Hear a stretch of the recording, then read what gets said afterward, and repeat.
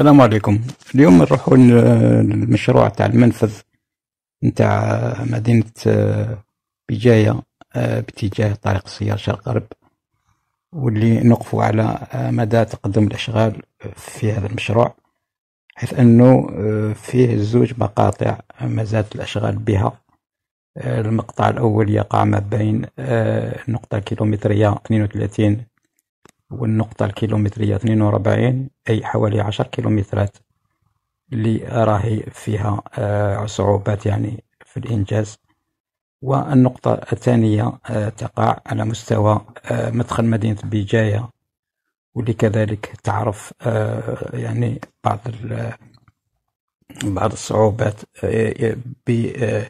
بسبب بعض التضاريس وكذلك بعض الأراضي التي ما زالت لم آه، يعني آه، تحل مشاكلها لأن فيه آه، عملية نتاع يعني التعويضات نتاع بعض الملاك اللي جايين على الرواق نتاع الطريق هذا مازال ما تعوضوش.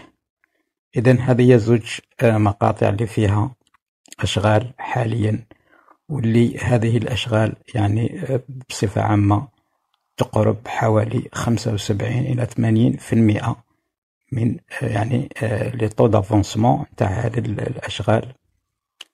وكذلك فيه أشغال على مستوى الأنفاق سوف نشاهدها لاحقا في الفيديو لأشغال نتاع التجهيزات لأن الأنفاق انتهت يعني العملية تاع بناء يعني تاع الهندسة المدنية انتهت. الآن راهي فيه زوج عمليات عملية تاع تزفيت الأرضية.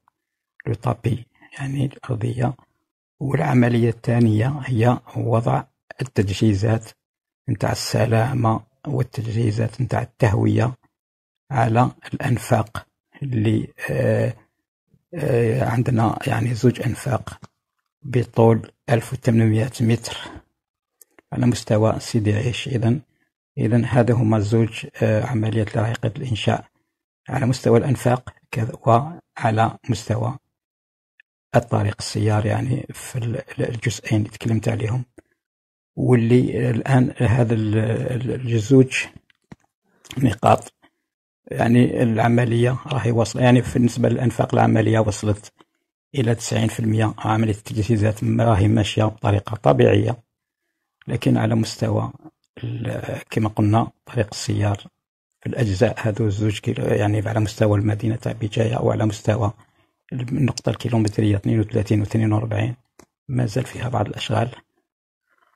ولكن نتفائل خير لأن المشروع ككل راح دخل في المرحلة يعني النهاية تاعو لا فينيسيون ديالو. وإن شاء الله تكتمل الأشغال في أقرب الآجال والسلام عليكم.